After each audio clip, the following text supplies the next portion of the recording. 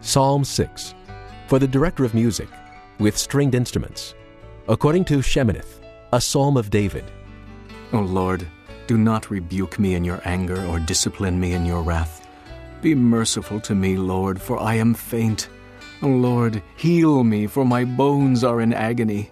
My soul is in anguish. How long, O Lord, how long? Turn, O Lord, and deliver me. Save me because of your unfailing love. No one remembers you when he is dead. Who praises you from the grave? I am worn out from groaning.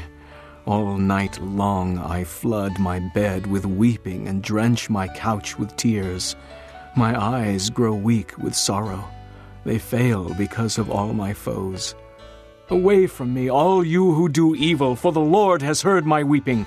The Lord has heard my cry for mercy. The Lord accepts my prayer. All my enemies will be ashamed and dismayed. They will turn back in sudden disgrace.